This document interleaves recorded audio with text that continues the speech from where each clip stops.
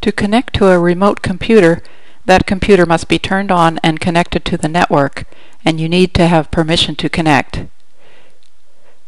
Click the Start button, and then in the search box type Remote Desktop Connection. In the list of results, click Remote Desktop Connection.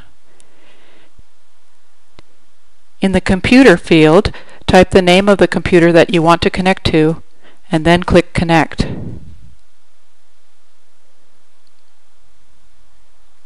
Enter your username and password, and then click OK. Now you can use the remote computer as if you were sitting right in front of it. When you're finished, click Start, and then click Log Off.